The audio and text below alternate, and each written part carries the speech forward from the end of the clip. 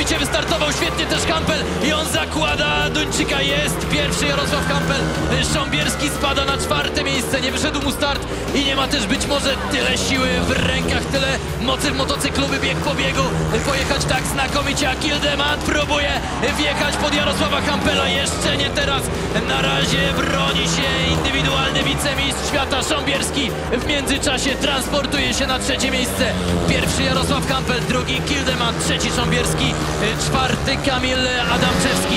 Peter Kildemat będzie szukał swojego sposobu na Jarosława Kampela, swojej ścieżki, ale dobrze, szybko pędzi do przodu Jarosław Kampel. Jeszcze trzy łuki przed nimi. Zobaczymy, czy uda się Kildemandowi teraz szeroko. Bardzo podobnie jak Jarosław Kampel. Obaj napędzają do granic możliwości swoje sprzęty. Coraz bliżej jest Kildeman, coraz bliżej jest Jarosława Kampela. Szli tak już na łokcie z Pawlickim. Niczego. I teraz skontrował bardzo mocno. Kildemant jednak wygrywa w ostatnim metrze, na ostatnich centymetrach.